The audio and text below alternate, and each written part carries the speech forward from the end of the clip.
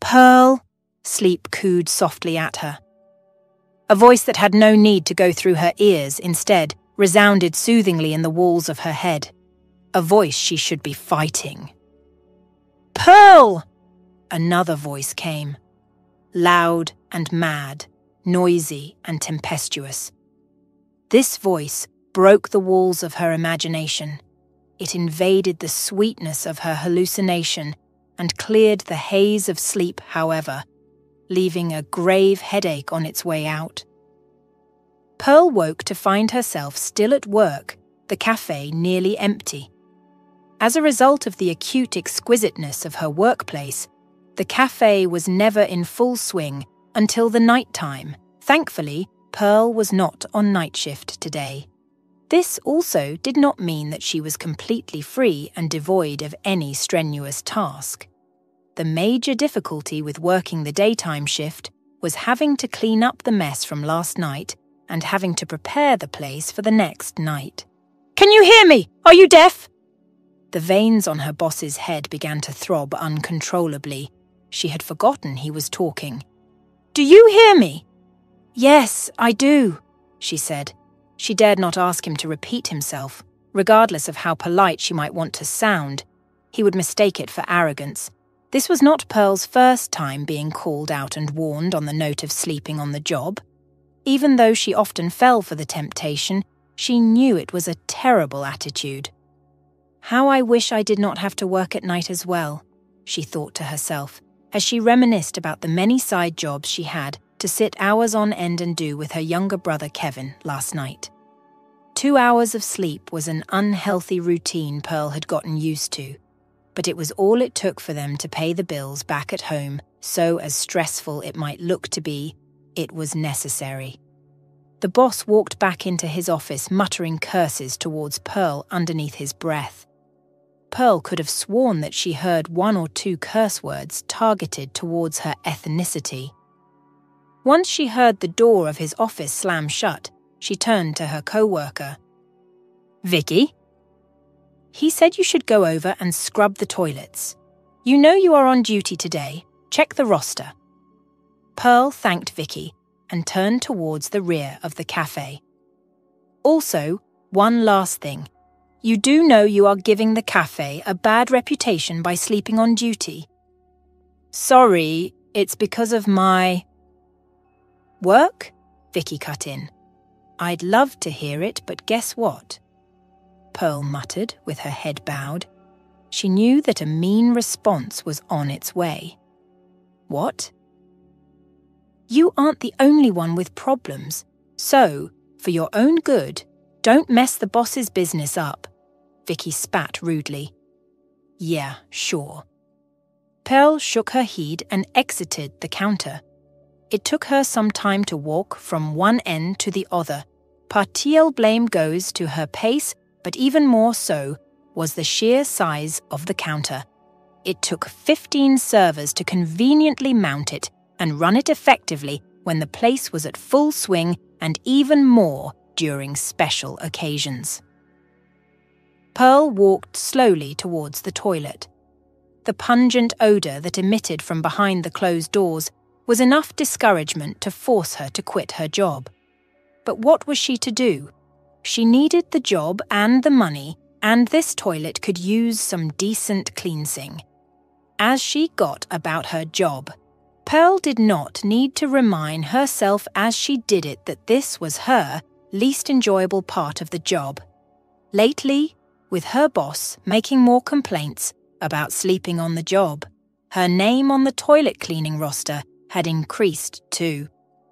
Two hours of scrubbing, rinsing, wetting, and drying was what it took to get the toilet clean and ready to be used.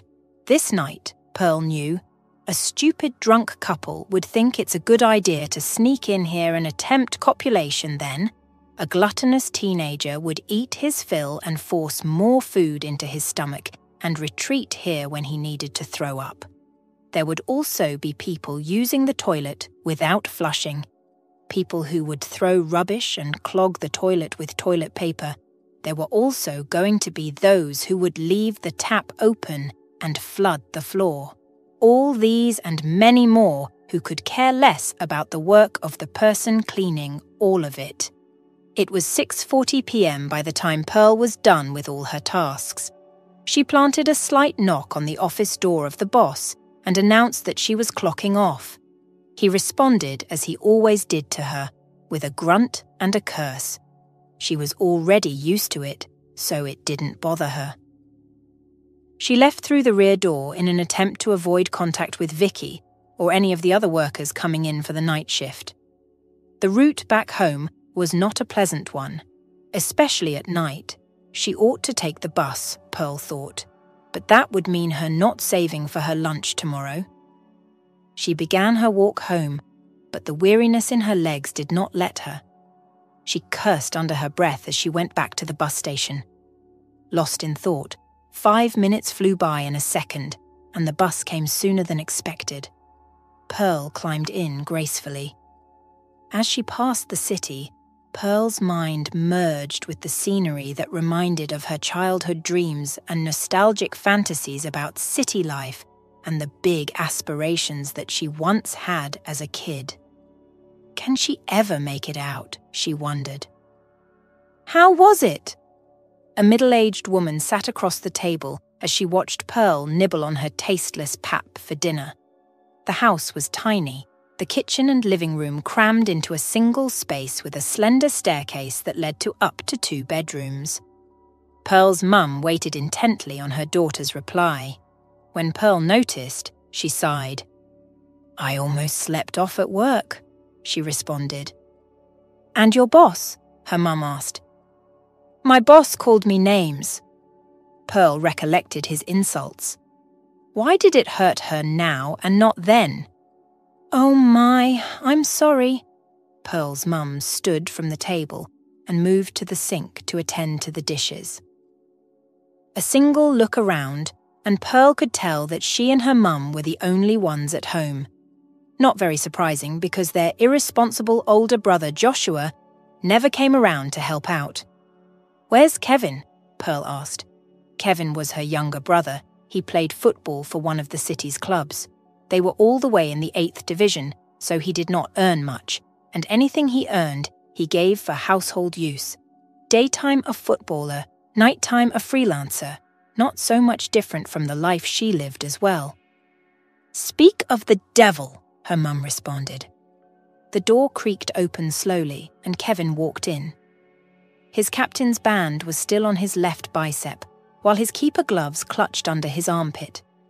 He dropped a wrapped package on the table, and with his mud stained jersey, Kevin dragged his feet up to his room and closed the door behind him gently, without uttering a word, to either of them. Pearl and her mum shared a stare. The countenance on his face told the story of what had happened. His team had lost their promotion game, so it would be another 12 months before hopes of increased wages could be spoken about. Pearl's mum took the package and opened it. It was a few bills of cash. Not enough, but not too bad either. She nudged her head towards the room, and Pearl got the message. The staircase creaked as she climbed to the top.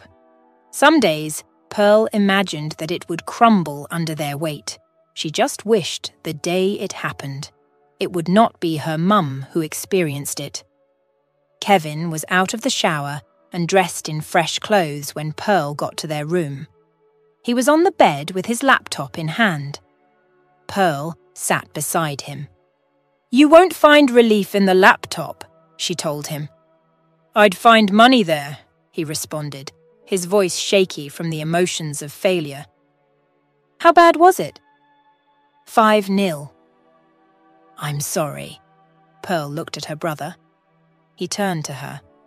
How was work? Don't start, please. Pearl placed a reassuring hand on her brother.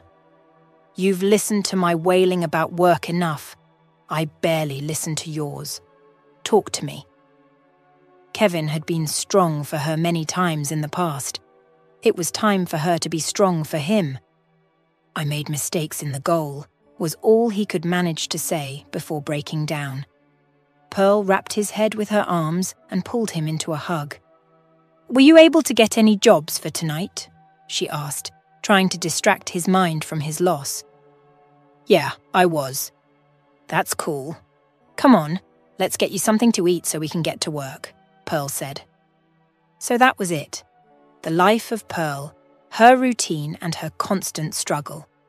That night, she and Kevin stayed up all night, working on their laptops, with the hopes of making a little extra for the house, since both their incomes combined from their regular job was simply not enough, and their mum fell sick too frequently to have her work as she used to when she was younger. They usually fell asleep on the same bed around 4 a.m., and by 6 a.m., the routine repeated. Today, Pearl stood at the notice board in the kitchen reading a notification. It stated that a special guest had lodged into the hotel that their cafe was attached to the night before, and now he wanted to host his birthday here at the cafe. Pearl wondered why, but orders were orders, and from the notice board, there was a command that all staff, both daytime and nighttime, would be required to be at their post by 10:30 p.m. when the birthday was going to start. It was anticipated that the influx of customers would be triple. Because of the preparations that were to be done before the evening, Pearl and Vicky were not the only ones called on duty this morning. Pearl avoided any conversation as she got to her task. She started from the very place she despised the most the toilet. Thankfully, it was not as bad as she had expected it to be. Once the toilet cleaning was done, Pearl moved back to the cafe counter to carry on with her serving work. She did her job in silence until 6 house PM. On a normal day, she would have been off, but the memo placed today on the notice board suggested otherwise. She had to stay till the end. Settling behind the counter on her seat, Pearl flipped through a book she had brought along in silence. She thought of her family as she scrolled through the pages. Looking at the words, but never truly reading them, her mind was with her family, how she wished she could change the way things were. Earth to Pearl, came a calm male voice to her. She placed down the book and looked up. Hi, Mike. Mike stood above the counter, peering down at her. He was a less than imposing man, with a flood of beard around his jaw that did a lot to enhance his facial appearance. Let's get to decoration, shall we? Before the boss comes after you again, Mike said. Yeah, of course. Pearl climbed to her feet. It ached a bit, making her wonder just how long she had spaced out.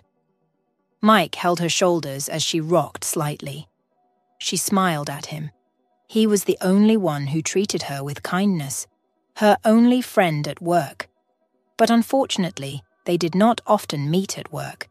This was as a result of the way the roster was usually scheduled. Together, Pearl and Mike commenced the decoration.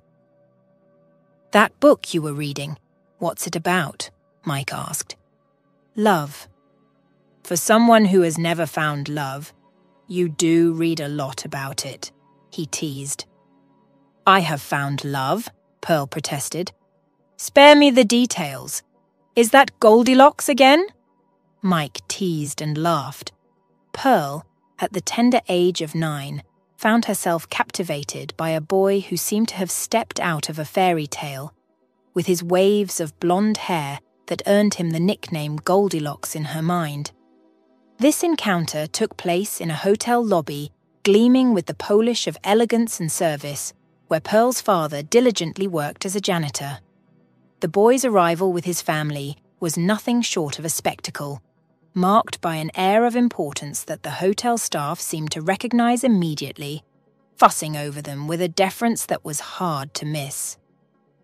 Pearl's young heart fluttered in a way it never had before upon laying eyes on Goldilocks. His angelic features seemed to cast a spell on her, leaving her both enchanted and shy. Later that day, as his family dined in the hotel's cafeteria, Pearl found herself stealing glances at him from a distance, her curiosity piqued yet restrained by a bashful reluctance to approach. She yearned to strike up a conversation to bridge the gap between them, but her feet remained rooted in place, held back by an invisible force of shyness and circumstance. Their eventual meeting, however, would come about through unforeseen means, far removed from the scenarios Pearl had played out in her mind. The following day unfolded under the bright sun by the hotel pool, where laughter and splashes painted a vibrant scene of carefree joy. While the other children frolicked with their colourful floats, buoyed by their innocence and the safety these aids provided, Pearl remained on the sidelines. She didn't possess such luxuries, but she found solace in the water, embracing it with a confidence and grace that belied her young age. Swimming was second nature to her, a skill she wielded with the ease of a seasoned swimmer, diving headfirst into the cool embrace of the pool without a moment's hesitation. It was in this setting, amidst the laughter and the light-hearted splashes, that Pearl's and Goldilocks' paths would finally cross, in a manner as unexpected as it was fateful, weaving a new thread into the tapestry of Pearl's childhood memories. Pearl was no stranger to bending the rules, especially when it came to her secret thrill of diving off the pool's edge, an act strictly forbidden and one that could easily land her in trouble. She was usually meticulous, scouting for the lifeguard's presence to avoid his watchful eyes and the inevitable scolding that would follow, which would surely reach her father's ears. On this particular day, she executed her routine with precision, ensuring the coast was clear before launching herself into the welcoming waters below. As she glided underwater with a sense of freedom and joy, her adventure took a sudden, serious turn.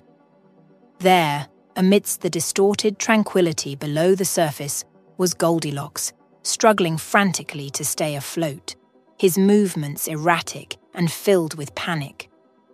The sight pierced through Pearl's carefree spirit, and she surfaced quickly, scanning for the lifeguard, only to find him absent from his post. Driven by a visceral understanding of the terror that drowning brings, Pearl didn't hesitate. She plunged back into the depths, her resolve firm, and made her way to the floundering boy. With a practiced ease, she wrapped her arm around his chest and kicked fiercely towards safety. Her timely intervention brought them both to the edge, where she managed to heave Goldilocks out of the water's perilous grasp. The aftermath was a blur of activity as lifeguards and hotel staff converged on the scene, attending to the coughing and spluttering boy, who was soon whisked away by his distraught parents to seek medical attention. That incident etched Goldilocks into Pearl's memory, an indelible mark of a fleeting connection that held a mixture of bravery, fear, and an unspoken bond. Pearl had once confided this tale to Mike, who had since taken to playfully ribbing her about her lingering attachment to the memory of Goldilocks. Get over him already, he'd jest, snapping Pearl back to the present with a mix of annoyance and nostalgia. Mike's teasing was relentless, often suggesting that Pearl's daydreams, even when she was absorbed in a book, were filled with visions of her childhood hero. Despite her irritation with Mike's teasing, Pearl couldn't deny a kernel of truth in his words. The memory of Goldilocks of that intense moment of connection and rescue had indeed carved out a special niche in her heart. It was more than just a childhood crush. In her quieter moments, Pearl would find herself drifting back to that day, allowing herself the luxury of wondering about the boy with the golden hair, where life had taken him, and whether he ever thought of the girl who had once saved him from the depths. Are you okay? Mike asked as he gathered the leftovers from the decoration. I am, she replied, in a tone that showed that she was not. Pearl was planning in her head a way to skip the birthday party. The birthday party was long and stressful. For the most part of it, Pearl was able to hide in the toilet. But it all became complicated when something unusual happened. Pearl was busy clearing tables when her manager called her to the back of the kitchen, away from the hustle of clinking dishes and chattering customers. Listen, Pearl, the manager began, his voice laced with a hint of excitement and urgency. I want us to make it special for Ryden. Pearl furrowed her brows, a knot forming in her stomach. What do you mean by special? she asked cautiously. The manager's eyes sparkled with a mix of mischief and determination. I need you to bring out a cake and lead a birthday song for him. It'll be a nice surprise, and I'm sure he'll appreciate it. Pearl felt her heart sink. Singing in front of everyone was her least favourite thing. Was this your idea? she questioned, hoping there was still a way out. Shrugging nonchalantly, the manager replied, Just do as you're told, Pearl. It's good for the cafe, and it'll be good for your tips too. She attempted to reason with him, her voice barely above a whisper. Can't someone else do it? I'm really not comfortable with this kind of thing. Her words seemed to evaporate before they could even reach the manager's ears. Pearl, you need to be smiling and engaging with the guests. That's part of your job. Feeling cornered, Pearl's voice finally found some strength. I'm sorry, but I can't do this. It's not what I signed up for when I took this job.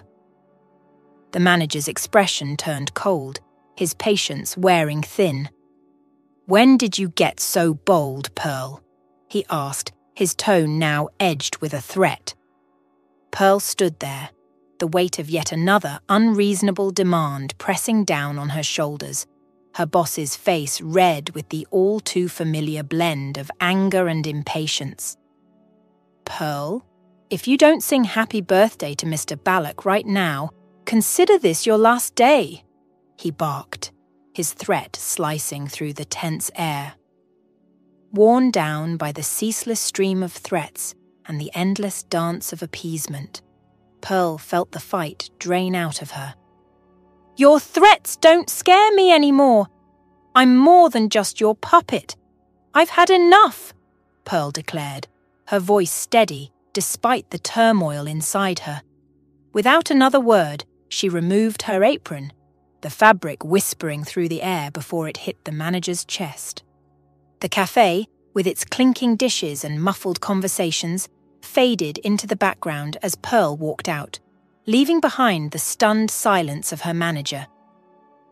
Ryden Balak woke up in the morning with a tearing pang in his skull. A dull, throbbing sensation filled the four walls of his head just on the inside of his skull, around his brain.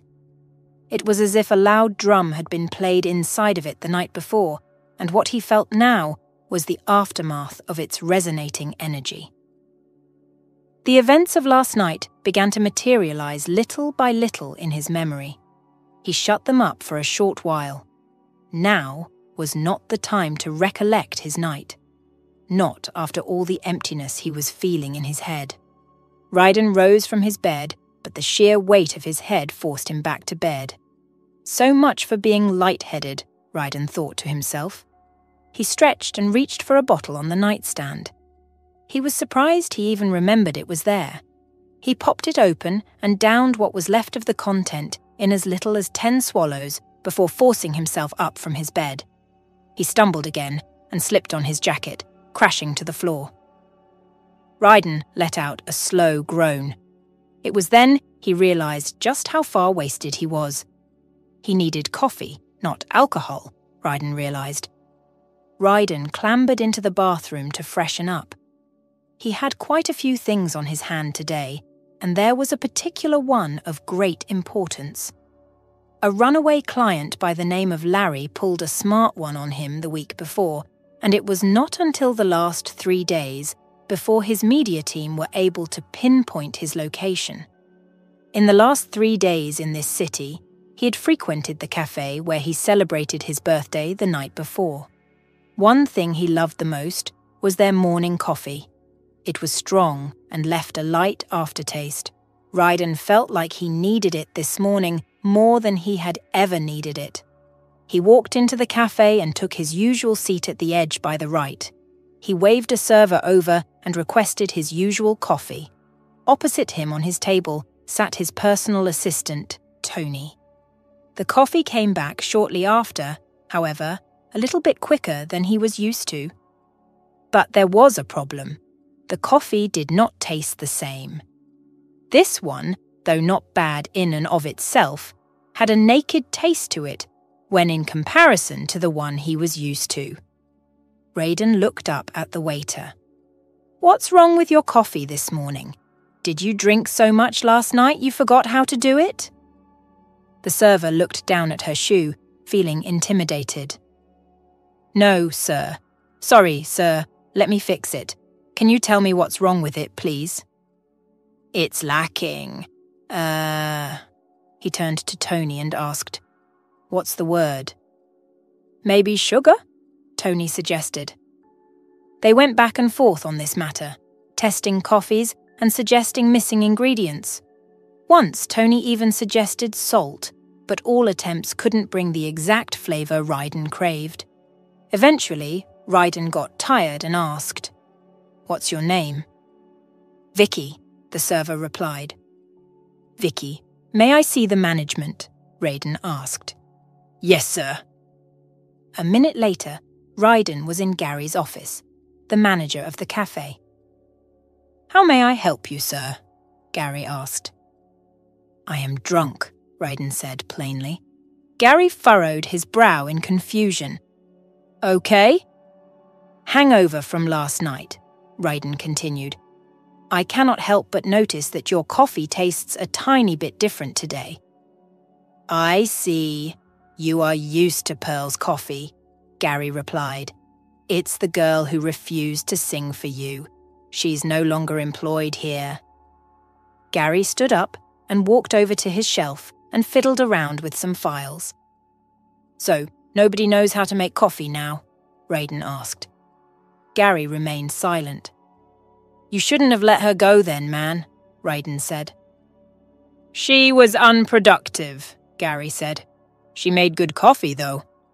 She slept on the job too often. Tell me, how much do you pay these people anyway? Gary remained silent. Give them a break. Raiden rose to his feet, however, this time more carefully. What is her name? he asked. Pearl. Pearl who? Pearl Alcorta. Raiden, who was making his way to the door, froze.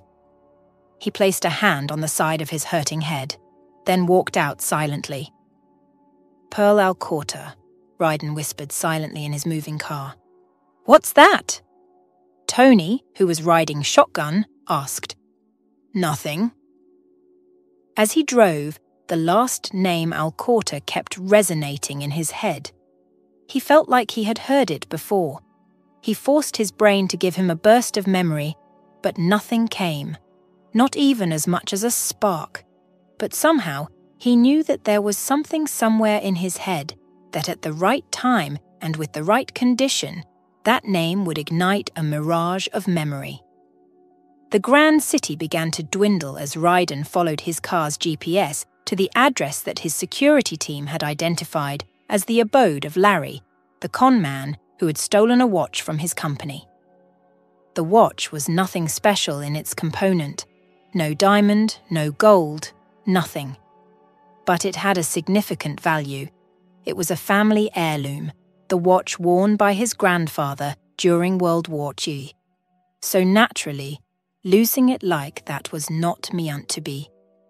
Orotund commercial buildings of large manufacturers, banks, and company offices slowly turned to modest shacks of salons and bars. The street vegetation lost its lush green and well trimmed edges, replaced by random trees and barbed wire fences. Trash bags looked as if they had not been attended to for years. Cats and dogs wore no leash neither any collars nor name tags. This was the lesser part of the city, Ryden realised. The part where the unfortunate or the financially unstable were sent to live.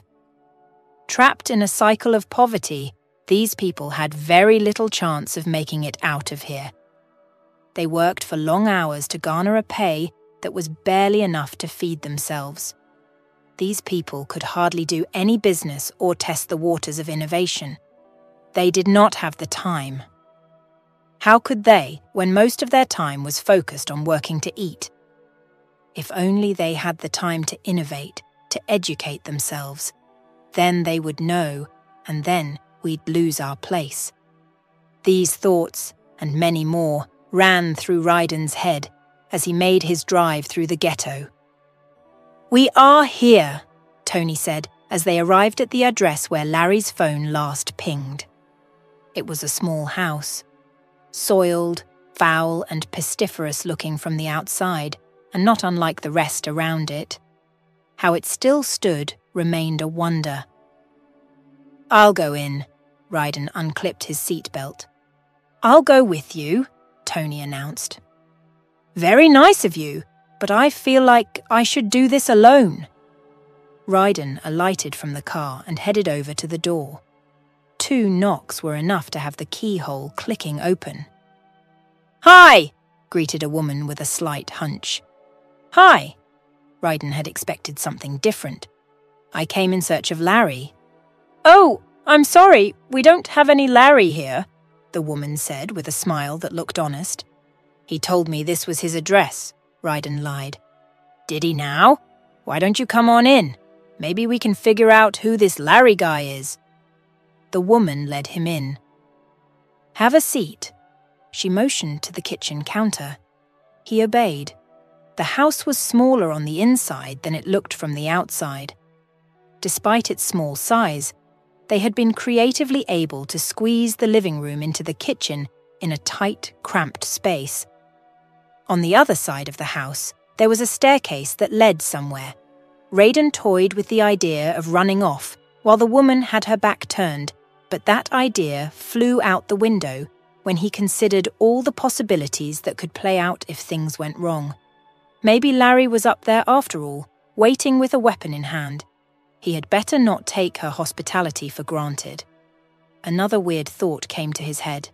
What if she was Larry? The woman turned to him. Coffee or tea or something stronger? I'd take coffee, he said without thinking. He had taken a lot of stronger stuff the previous night, but had been deprived of a decent cup of coffee. So coffee was his best option. The woman went on preparing the coffee while she conversed with him. So, who is this Larry guy? Honestly, I am yet to find out myself. What did he do? Ryden stopped for a minute to think. Was it safe to tell her? What if she had something to do with it? Nothing. A mere breakdown in business communication. He tried to frame it differently, but still maintain the meaning. That's sad. I'll let my children know and see if any of them knows Larry. The woman brought the coffee before him. How many have you got? Ryden asked. Three? What about your husband? A flash of sadness flicked through her eyes. In an instant, as fast as it had appeared, it disappeared. He's at a better place now. I'm sorry about that. For the first time since coming here, Ryden felt something genuine towards the people living here. A woman with three children and no husband struggling in a place like this was no joke. Was he a good man? Ryden asked. He felt obliged to say something comforting to the woman more than a simple apology. But he did not know what to say, so perhaps a simple question would start a good conversation. He was the sweetest man you'll ever meet, son, the woman started. He was charming as a man, hard working, caring as a father and a husband, so sad he had to leave us very soon. The woman took a seat opposite him. Son, are you married? No, not yet. Here's something I'd like to tell you. She lowered her voice, and Ryden found himself leaning in to listen. Never let your business overtake your family, because when you die, your business will pass like an unmarried bride to the next man, but your family can never. The words sunk deep into Ryden's soul. He was not married, so this advice did not immediately connect to him but it made him think again of all the things he had seen earlier when he was driving past the suburbs. Ryden took a sip and paused. He looked up at the woman. She was sitting down and staring outside. No way, he whispered aloud. This is it. How is this possible? It was the coffee he was referring to. This was the coffee he had been looking for. It had the same strong taste and light aftertaste.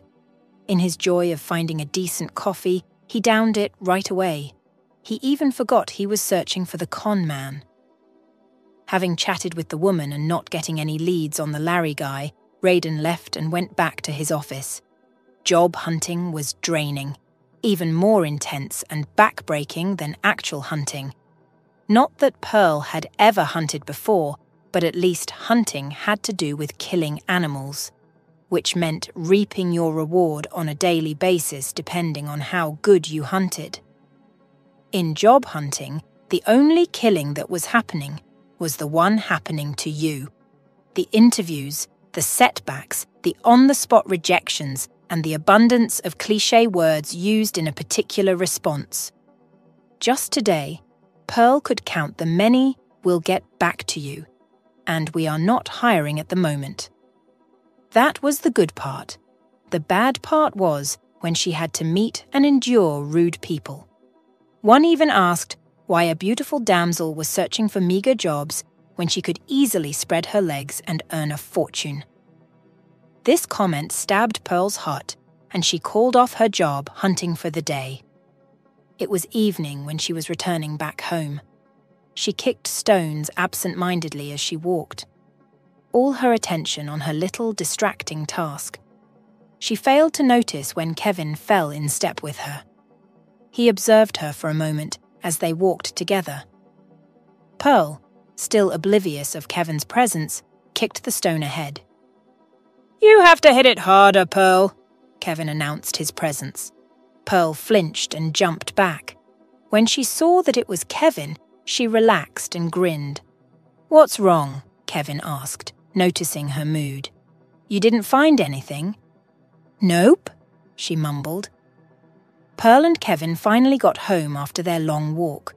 Home was just as it used to be tiny but comfy, maybe only comfy because of the realization that that was home. Their mother was sitting on the couch listening to the radio when they walked in. She barely recognized their presence not until they walked past her. Oh, you guys are home, she called after them. Pearl looked down then to the side, avoiding eye contact with her mum. Her brother gave her a light tap on the shoulder. The next day came in a minute. As her manner was, Pearl stepped outside to get some fresh air it was something she loved the most about the day. Pearl stood in the open, allowing the morning breeze whoosh through all her senses. Her only wish now was that she found a good job. She retreated back into the house to begin her morning chores and prepare breakfast. She made an omelette and coffee. After a few minutes, Kevin stumbled down from their room to join her. Their mum was, as usual, on the couch listening to her radio. Oftentimes, Kevin and Pearl would promise themselves to save up funds to get her a television, but in every instance, they had to dig deep into the funds to get essentials for the home. The front door crashed open loudly, and in came a face they had not seen in weeks. A face that constantly annoyed Pearl. One that reminded her of just how much work and burden she and Kevin had to bear because he was too lazy and careless to bear it with them. It was Joshua, the youngest brother. He barely came home, and when he did, it was always when he had run out of cash or when he was in danger. Pearl wondered what it was now. Hey, Joshua, what the heck, man? Kevin blocked his path. You run off for a week and just pop back in? You think that's okay? Get out of my way, Kevin, he shoved Kevin aside and headed upstairs. Pearl was angry. She had struggled for so long, and now she had lost her job. All this would not have been very difficult if Joshua would just step up to responsibility. She was not having it today. He'd either stay and work or pack his things and never come back. Pearl followed him shortly into their room. What is wrong with you? She barked at him. Don't raise your voice at me! He rose to his full height. Intimidating as he was, the forge of despair had hardened Pearl's heart, sharpening her guts to its sharpest. I'll raise my voice how I deem it fit, and to whoever. Joshua looked down at her and cracked a smile. He went back to frisking through his belongings. Joshua, listen to me! Pearl roared, a roar that sounded more like a tiny bark than an actual roar, courtesy of her feminine voice. I'm listening, Joshua replied in a tune that shows he was deaf to whatever she was going to say. A screech came from outside. Joshua rushed to the window to take a look. Jesus, he exclaimed. Pearl rushed in after him to have a look. Parked outside their house was a black sedan. The door swung open and a man in a black suit rushed out. Panic struck Pearl's heart, and it skipped two beats. She turned to Joshua, but found herself alone in the room. A bang, voices, and another bang was heard from below. Without hesitation, Pearl rushed downstairs. On arrival, she was met with a scene that ignited a fire in her she had no idea she possessed. The man in black suit had Kevin pinned below him on the counter. His forearm was pressed against his neck, and his head was losing colour. Where's he going? The man in black rasped deep in the ear of the pinned boy. Pearl looked around to see Joshua through the window, running off. Get off him! This time, her voice came out as a thunderous roar. Masculine and bold, menacing and daring. She lounged at the man and connected her fist squarely on his head. He stumbled back, and Kevin dropped to the ground, breathing heavily. Pearl shielded Kevin with her body. She knew she would not stand a chance against a man who was able to pin Kevin, but she had to try anyway. The man, in his fury, took two brisk steps towards Pearl, but stopped the instant with both of their eyes connected. Pearl, he whispered. Tears filled Pearl's eyes. You, she screamed, you get me fired and now you want to kill my brother. Pearl couldn't control it and the tears flowed out. No, wait, I'm sorry, I can explain. I was drunk. He reached down to touch her shoulders, but she flared up and scratched his arm. She turned back to Kevin. She cuddled his head in her tears. Get out! Please! Pearl's mum, who had been sleeping the whole time, got out of her bed, her face in shock. She stood there in silence, looking around, and then said, If you come to my house to make a mess, leave now before I call the police. If you have good intentions, stay. Tara lived in a place where gunshots and fights were common, but she believed in solving problems without violence. She thought the man in the suit was connected to her son Joshua, and she wanted to find out more. Breakfast was tense and silent. In her life, Pearl could not recall a day she had eaten in such silence before. The man in black, who had introduced himself as Raiden earlier, barely touched the food served to him. He nibbled slowly but mostly drank his coffee. Kevin gave him death stares. Why are we silent? Breakfast tables aren't supposed to be silent. Tara asked with her usual wrinkly smile. Raiden stirred uncomfortably in his seat. He scratched his head and cleared his throat. Thank you for letting me speak. What do you want? Pearl asked. Who sent you? To take my job and my brother away from me. Raiden bowed his head in what looked like shame. He remained silent for a while before maintaining his composure. I'm not here for anything. I'm just here for my watch.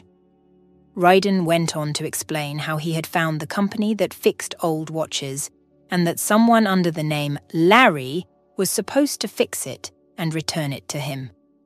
Joshua did as told and sent the watch, but soon after, the person he was talking to went silent and the website vanished. It turned out to be a scam, and Joshua was actually using a fake name, Larry. When Raiden was done telling his story, it was the Alcorta's turn to bow all their heads in shame. We are so sorry for the troubles we have put you in, Mr. Raiden, Pearl's mother pleaded. Pearl knew there was no way they could pay that money if legal actions were to be taken against them. We promise we'll have him return the watch or pay you back. I really hope I get the watch back. It's a family relic and it has to be retrieved. Ryden stood to his feet. He turned to Pearl and offered her a hand. She slapped it off. Her mum frowned at her rudeness. What's the matter, Pearl? Tara asked, puzzled. It looks like you two have met before. Yes, we have. He's the one I wouldn't sing Happy Birthday for, and then I lost my job because of it, Pearl explained, looking serious. Ryden moved over to Kevin and outstretched his hand for a handshake. As Kevin rose to his feet, Pearl held on to his shoulders. With a reassuring look, Kevin shrugged himself free from her grasp and clapped Ryden's hand. They bumped their shoulders into each other in a half hug, and Kevin whispered something into Ryden's ear which made him laugh. Ryden left. He seems like a nice young man, Tara said as soon as Ryden left. He's got a cool car, Kevin said as he got to clearing the table. But he took Pearl's job. We can't forgive that. I hate these rich kids, Pearl added. The old woman gave her two children a look that shut them up immediately. Did I raise you kids to hold grudges? If anyone has lost anything, it's him. And it's our fault he lost that watch. You might say it's Joshua's fault, but Joshua's one of us. Pearl and Kevin remained silent, slowly starting to see the sense in what their mother had just said. The next day, Ryden showed up again to their home. This time, Pearl's mum was asleep in the room, leaving only Pearl at home as Kevin was at work. He knocked softly and Pearl answered the door. He seemed hesitant at first to come in, but after Pearl assured him that it was fine, he came in. What brings you here? Pearl chose the way she asked carefully to avoid sounding rude. I actually came to see you, if that's okay. Of course, why not? Have a seat. Pearl stepped into the kitchen while Ryden sat on the couch. Shortly after, she came back with her tail between her legs. Ryden understood what it meant. I can't really offer you anything. We are having a shortage of stuff, so. sorry. She handled it okay, he thought. That's cool. Silly of me not to bring you guys something as well. We can just talk. Pearl sat beside him on the couch. He was not smelling of alcohol or any drugs she was familiar with, so perhaps his drunkenness was a one time occasion. His perfume filled her nose with an aura that made him look bigger and stronger than he actually was. I'm sorry my brother hasn't come back since, Pearl pleaded. You don't need to apologize. It's not your fault he turned out that way. How's job hunting? Worse than hunting in the jungle. They both laughed. I can imagine. They both sat in silence for a while. Raiden spoke. I didn't mean for your boss to fire you. I think back to the way I behaved that night every day and I regret it. I don't even remember asking for a birthday song. I guess your boss wanted to pull a dollar out of me. Don't let the memory hunt you. It's okay. I was going to leave the place sooner or later anyway, Pearl said. Why is that? Raiden asked. The guy is an a-hole, calling me names all the time. Raiden's eyebrows made an arch. He was unsure on how to console her. I'm sorry, Pearl, Raiden said. At that moment, he dreamed of getting Gary to apologize to her. They spent the rest of the morning talking and even taking a walk outside. Pearl showed Raiden around, telling him stories of how they first came to live in a place like this.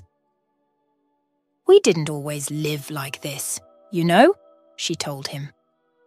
Really? What happened? Raiden asked. Yeah. My dad used to work. He had quite a decent job until he got sick. We tried everything we could to save him. It got so bad he was put on life support. He told us at one point to get him off life support, but we couldn't bring ourselves to do it. So, we spent all our money keeping him alive. He made a full recovery but died of complications from the drugs he was given during the treatment process. Then we moved all the way down here when we discovered there was nothing for us anymore uptown. Ever since Mom got diagnosed with her mental disorder, she couldn't keep a job. Her mood swings got out of hand, and we had to take care of her at home. But she's way better now.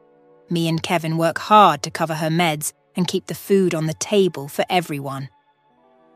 In reality, Pearl was the one working hard for everyone. Kevin did pitch in now and then, but Pearl preferred he focus on his studies and football. She saw it as one of the few ways he could make a better life for himself. Pearl finished her story with a sad smile. Raiden was silent for a long time. More than once he opened his mouth to say something, but the words failed to come out. Trying to find the right words, Pearl asked with a chuckle. I. eh, yeah. It's okay. Sometimes we get so entrenched into saying the right things or not saying the wrong things that sometimes we say nothing at all. You remind me of someone, he said. I'm not going to lie, but you remind me of someone too. They stopped in the street, staring at each other for what they thought was a second, but in reality was at least ten. It was odd for her. His company felt so comforting that it sparked a strange new feeling in her heart. When Pearl's hand accidentally touched his, Raiden felt his heart skip a beat. However, the brief moment was interrupted by the beeping of Raiden's watch. Pearl giggled and asked, What's that? Sorry, it's work. Raiden turned the alarm off. I need to get going. You're lucky you have a job. It must also pay well, Pearl said. Oh, I don't actually earn any money. I work for my dad, doing things I'm not fond of. I'm just biding my time until I turn 25. That's when I plan to leave his business and start my own thing. That was our agreement. Raiden spun around and hurried back to his car. But after a few steps, he stopped suddenly, returned, and gently kissed Pearl on the cheek. Pearl's eyes widened in surprise. Her cheeks turned bright red, and she stood there speechless, completely taken aback. From that day on, Ryden's visit became a regular occurrence. Even after the retrieval of the watch from the man who Joshua had sold it to, he still turned up so often that Kevin noticed a slight shift in Pearl's behaviour on days he did not show up. They started dating and going out. From amusement parks to dates at restaurants, to driving to the mountains overlooking the city for a good view. It felt like they had known each other for a long time, but they could never tell where it was that they had met before. That evening, they both sat on the grass atop a mountain and watched as night dusked on the city. It was a sight to see, and one Pearl had not been able to see ever since she was a kid. I've seen this before, Pearl reminisced, her voice taking on a nostalgic tone. Really? Tell me more, Ryden urged, intrigued by her sudden shift. Pearl hesitated, a playful smile tugging at her lips. It's not all that interesting. You might find it dull. I doubt that, Ryden countered gently. It's less of the tale and more of the teller. Encouraged, Pearl allowed herself a small smile, her gaze drifting away. She felt a warm flush spread across her cheeks, unsure if it was the setting sun or her emotions painting them a deeper shade of red. It's a memory from my childhood, she started, her voice soft. My dad took us, me and my siblings, to this very spot. It was the most breathtaking view I'd ever seen, even to this day. But Kevin, my brother, he couldn't stand it. She chuckled at the memory, the sound light and carefree. Ryden couldn't help but tease. Liar. I can't imagine there's anything you like that Kevin doesn't. Pearl burst into laughter, shaking her head. You'd be surprised. We couldn't stand each other as kids. He was such a pest. So what changed? Ryden probed, genuinely curious about the dynamics between Pearl and her brother. With a reflective sigh, Pearl shared, Life, I guess. Responsibilities have a way of bringing people together, forging bonds you never expected. Despite everything, it seems we have a lot to be thankful for the good and the bad. What about Joshua? Ryden asked. You never talk about him. Ryden's question hung in the air for a brief moment, giving Pearl time to collect her thoughts. She exhaled deeply before speaking, her voice tinged with a mixture of fondness and concern. Joshua. He was always the one Dad had a soft spot for. They were inseparable. After Dad died, it's like Joshua lost his way. He was old enough to grasp that Dad wasn't coming back, and it changed him. He became withdrawn, and eventually we just lost communication. But he's still my brother, and I love him. I'm holding on to hope that he'll find his footing soon. Ryden offered a warm, encouraging smile in response. You're doing an incredible job looking out for your brothers, Pearl. Joshua might not grasp everything now, but with time and your guidance, he'll come around. I was a bit of a late bloomer myself, but look at me now. Just keep being there for him. The discussion went on, deep and deeper, that they had nearly lost track of time.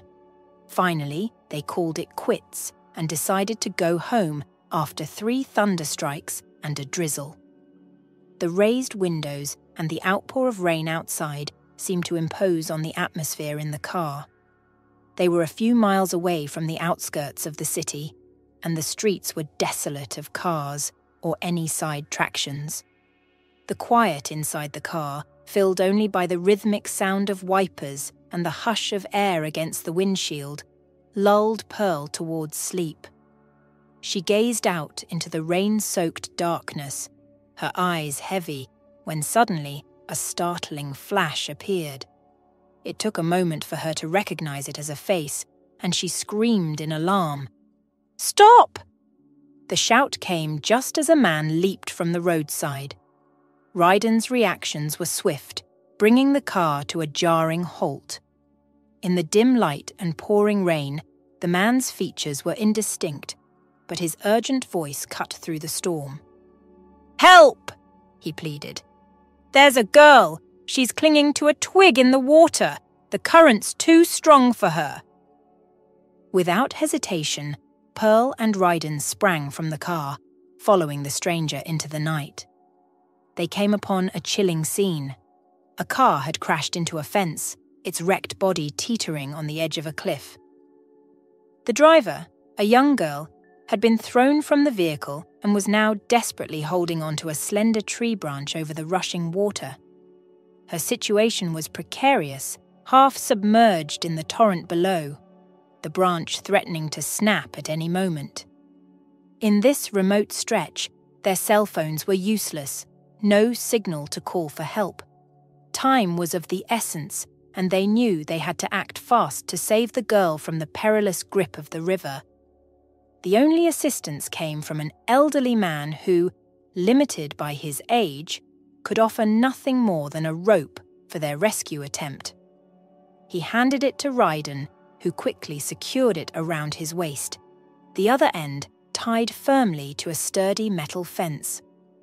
With no time to lose, Ryden plunged into the swollen river, allowing the surging water to carry him toward the girl. Pearl, her heart racing, watched anxiously, her fingers pressed to her lips in worry. She instructed the elderly man to signal for help from any passing vehicles, hoping for additional assistance. Ryden reached the girl and gripped her firmly, beginning the precarious journey back to safety. Just as they neared the bank, disaster struck. The rope unexpectedly came loose. In a split second decision, Ryden propelled the girl towards the shore, ensuring her safety before the relentless current swept him away. Pearl's scream pierced the stormy night as she raced along the bank, desperate to keep Ryden in sight. Miraculously, Ryden managed to cling to a rock, battling the force of the water that threatened to overwhelm him. Pearl, driven by a surge of adrenaline, grabbed a long branch and edged closer to the water. Stretching as far as she could, she reached out to Ryden. Their hands clasped, but Pearl's strength alone wasn't enough. Just then, she felt a surprising pull from behind. It was the elderly man, lending his strength to the rescue effort. Together, with a combined force born of desperation and Ryden's waning energy, they hauled him from the merciless grip of the river, dragging him to the safety of the shore.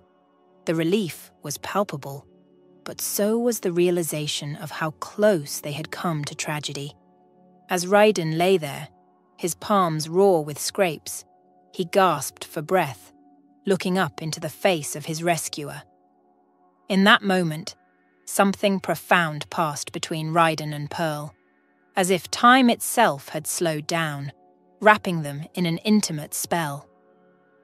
Pearl's mind was suddenly awash with vivid memories water fights, laughter, colourful balloons, and the cool embrace of pool water. She was transported back to being 11, revelling in the simple joys of childhood summers. And now, seeing Ryden up close, she was struck by a realization. His features, the unique shade of his eyes, the familiarity of his presence, it all clicked. Ryden was the Goldilocks from her past, a nickname born from a cherished memory. Ryden's eyes shimmered with unshed tears as recognition dawned, his voice barely a whisper through the emotional turmoil. It's you, he breathed, disbelief and awe mingling in his tone.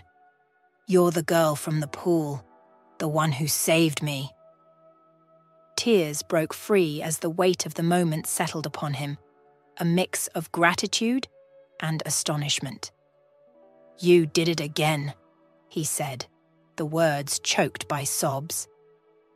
Pearl, overwhelmed by a whirlwind of emotions, found laughter amidst her tears.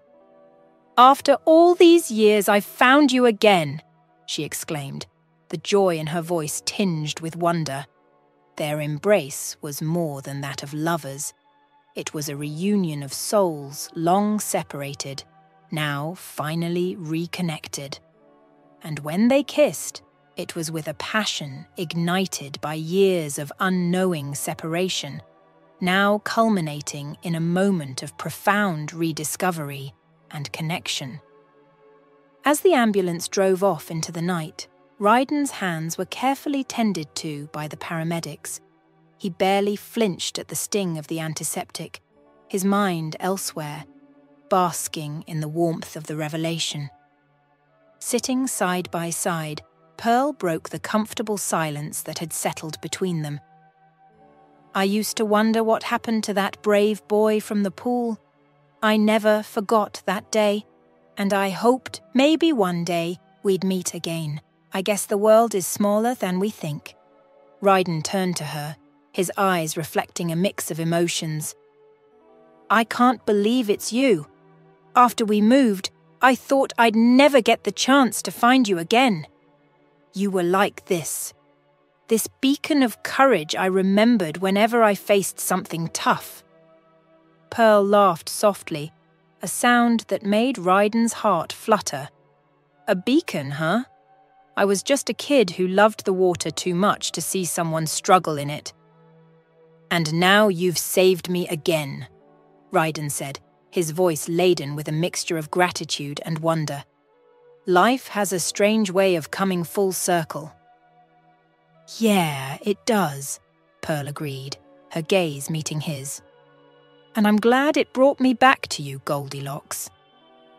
Ryden chuckled at the nickname, a vestige of a summer long gone, but never forgotten. I guess I owe you a couple of life debts now, huh?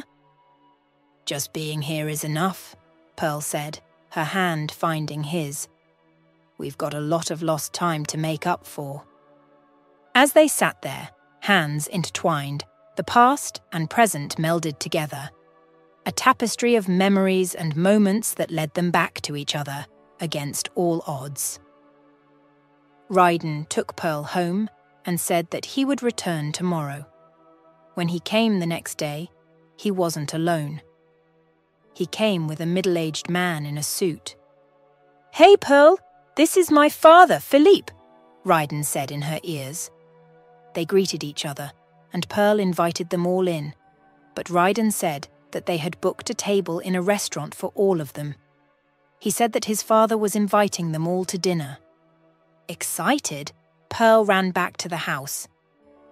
A few minutes later, Pearl, Tara, and Kevin were beaming as they sat on the back seats of a limousine. Ryden's father was a slim and serious looking man with some grey streaks of hair. They all sat at the table in a fancy restaurant. Ryden's dad had taken the trouble to fly all the way from New York to their city when his son informed him that the girl he was dating was the one who had saved his life when he was still a child. What a coincidence, Ryden's father said in amazement. Thank you for having us tonight, Pearl's mum said. The evening had unfolded like a scene from a dream. As they enjoyed their meal, laughter and stories were shared, weaving a tapestry of newfound friendships. It was during this warm exchange that Philip, with a solemn look in his eyes, steered the conversation towards a topic that had weighed heavily on his heart the incident at the pool. If I lost my son, it would definitely break me, Philip confessed, his voice tinged with the gravity of what could have been a tragedy. The table fell silent, all ears attuned to him. After the incident, I ordered my people to bring in the person who saved my son. They brought in the hotel manager. He continued, a hint of frustration in his tone. He paused, looking directly at Pearl with a mixture of regret and gratitude. He received a substantial amount of money from me, which should have gone to you, Pearl. I apologize for the mix up. I will make that payment now. The moment Philip produced the check and began to write, an air of disbelief enveloped the table. Pearl's family watched in stunned silence, their eyes wide with shock. Tara was so overwhelmed by the turn of events that she had to ask the waiter for some water, her hand trembling slightly as she took the glass. Pearl, on the other hand, was flooded with an overwhelming sense of gratitude and relief. She could barely hear the conversation over the ringing in her ears, a melody of hope and thanksgiving to God. The light of endless possibilities shone brightly before her, illuminating a path to a better life for her family. The burden of their struggles seemed to lift in that moment, making way for dreams of moving out of their cramped living conditions and finding fulfilling work, or perhaps even starting a business of their own. Overwhelmed by a torrent of emotions, Pearl excused herself from the table, murmuring something about needing a moment.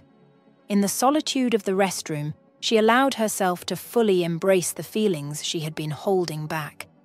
Tears of joy and relief streamed down her face as she thought about the brighter future that now seemed within reach. She wept for the hardships they had endured, for the dreams she had clung to, and for the unexpected blessing that had been bestowed upon them that night. When she came back, Philip got up and pulled the chair out for her to sit down. Then he went on. Now that you've saved my son in more ways than one, I'd be glad to have you in my company. Ryden mentioned how dedicated you are, Philip said, with a smile. Six months later, Pearl sat elegantly, her white gown flowing around her like a cascade of pure light. Across from her, Kevin was the very picture of sophistication in his sharp, well fitted suit. It had been quite some time since Pearl had seen him dressed with such care, and she couldn't help but admire how dashing he looked. Stop staring, weirdo. I don't look as ridiculous as you, Kevin teased, breaking the comfortable silence. Pearl chuckled, her eyes sparkling with amusement. I look beautiful, she retorted with playful pride. You're wearing white. People are going to think you're an angel, Kevin continued, his tone rich with mock seriousness. Pearl couldn't help but laugh at his words. Ha ha ha, very funny. It's called a wedding gown, Kevin. The room echoed with their laughter, a testament to the light-hearted banter that had always characterized their relationship. Indeed, it was Pearl's wedding day. The journey to this moment had been nothing short of miraculous. After receiving a generous check from Philip, her family had moved to a quieter, more peaceful home, far from the clamour of their previous life. They had even bought a house for their mother, ensuring she would never have to worry about rent again. Pearl's life had taken a turn for the better in more ways than one. She had secured a job at Ryden's father's company, where she was thriving. Her evenings were spent pursuing further education at college, a testament to her unwavering determination to build a better future. The decision to marry had come after six months of dating Ryden, spurred on by Philip's half joking, half serious pleas to see grandchildren before it was too late. It was a joyous culmination of love and new beginnings. So, what's next for you, Kevin? Pearl inquired, her tone tinged with genuine curiosity. Kevin's eyes twinkled with excitement, yet he tried to maintain an air of mystery. Well, I don't want to spoil the surprise just yet. Pearl wasn't having any of it. Come on, spill it, she urged, her voice a mix of excitement and impatience. A proud grin spread across Kevin's face. I got an offer from a club. Pearl's reaction was immediate. She sprang to her feet, her gown swirling around her. How big? she asked, her voice a mix of awe and anticipation. Second Division, Kevin replied, his smile broadening. Pearl's joy was palpable, even though the technicalities eluded her. I have no idea what that means, she admitted, her voice bubbling with happiness. But it sounds amazing. Kevin's news was like a spark that set off her excitement. It means you can watch me on TV now, he explained, his own excitement mirroring hers. Without a moment's hesitation, Pearl enveloped her brother in a warm, joyful hug, planting a kiss on his cheek. The bond they shared was unbreakable, a source of strength and comfort for both. As for Joshua, Pearl's other brother, he too was on a path of growth and change. Under Ryden's mentorship, he was slowly but surely maturing, much to everyone's surprise. Ryden often joked about never having been outsmarted by a teenager before, yet it was clear he had grown fond of Joshua. With a little encouragement, Joshua had even returned to school, with plans to leverage his unique skills for a brighter future. As Pearl looked around the room, surrounded by the people she loved most, she couldn't help but feel a profound sense of gratitude. This was the happy ending she had always dreamed of for her family a new beginning, filled with hope, love, and the promise of endless possibilities.